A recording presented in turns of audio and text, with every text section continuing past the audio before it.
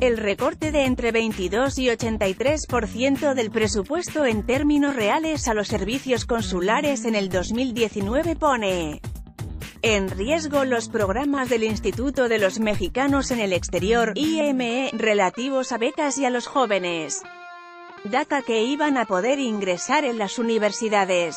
También peligra la protección de los mexicanos en el exterior incluyendo la repatriación de cadáveres de compatriotas que mueren en los Estados Unidos y retornan a sus lugares de origen.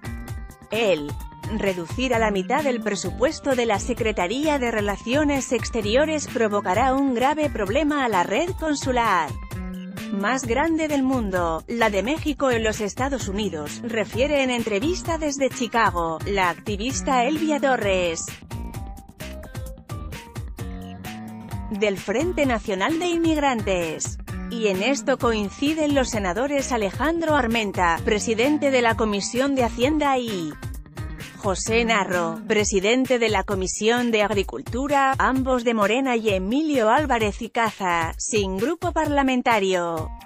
El legislador, Álvarez y Caza, secretario de la Comisión de Derechos Humanos consideró como un absoluto contrasentido reducir el presupuesto a los consulados. Sí se espera que hagan más trabajo. La idea de que trabajen como defensoría es buena.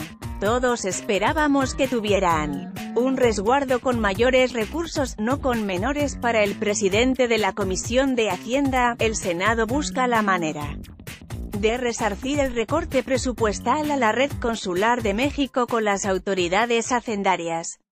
El recorte presupuestal a los consulados es un tema de todos los grupos parlamentarios. En el encuentro con el subsecretario de Ingresos, Arturo Herrera, lo encontramos sensible. Dijo que podría hacerse un proceso de reingreso de los recursos que por derechos obtienen los consulados a través de un procedimiento más expedito, el subsecretario Arturo Herrera nos dijo que en un plazo de 15 días propondrá la Comisión de Hacienda, como técnicamente lo van a hacer para que los consulados pudieran contar con esos recursos íntegros, para el senador zacatecano José Narro fue un error haber disminuido el apoyo económico a los consulados. Pero ya se comprometieron en Hacienda a liberarles recursos.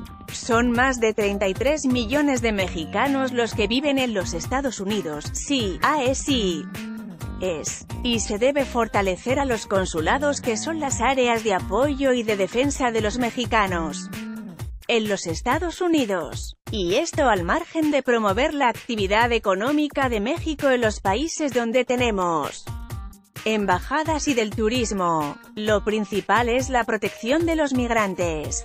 Se afectarán servicios consulares al Frente Nacional de Inmigrantes, le preocupan los recortes presupuestales aprobados por el Congreso de la Unión para los consulados que afectarán no solo la calidad y cantidad de los servicios que prestan sino a los empleados a los trabajadores consulares, quienes instrumentan los programas vitales para la comunidad mexicana en los Estados Unidos, hacemos un llamado al secretario Marcelo Ebrard. Le pedimos que la nueva administración respete los logros, las conquistas adquiridas por la diáspora mexicana en los Estados Unidos, afirma la activista Elvia. Torres, oriunda de Jalisco, pero ya con 20 años de vivir en la Unión Americana, desde Chicago, refiere vía telefónica. Que de acuerdo al Centro Hispánico PU, somos 33.539.187 personas de origen mexicano, que representamos el 64,6% de la población hispana y el 10,8% de la población total de los Estados Unidos. La problemática es muy seria. Y levantamos la voz ante este recorte de presupuesto que afecta los servicios de protección, de documentación y el programa 3X1, que contribuye a las mejoras materiales de las comunidades de origen de los migrantes, precisa. Los servicios consulares se habían agilizado. En una hora podías sacar tu pasaporte, ya no había filas. Las citas se daban muy rápido. Ahora, las cosas se complicarán, afirma. Refiere, en estos días, me habló un señor acerca de la repatriación de un cadáver. Con este recorte, ya no va a haber dinero. Cuesta entre 5.000 y 10.000 de dólares, dependiendo al estado.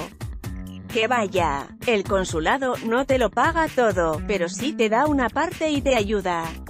Es un Apoyo para los migrantes. ¿Qué pasará con el aumento de las deportaciones de mexicanos indocumentados? En efecto, las deportaciones a México han aumentado. ¿Y qué hacen los consulados?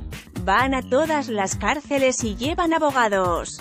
No pagas la primera consulta, la paga el consulado. Y ahora, con este recorte, no habrá dinero siquiera para la primera defensa en favor del migrante.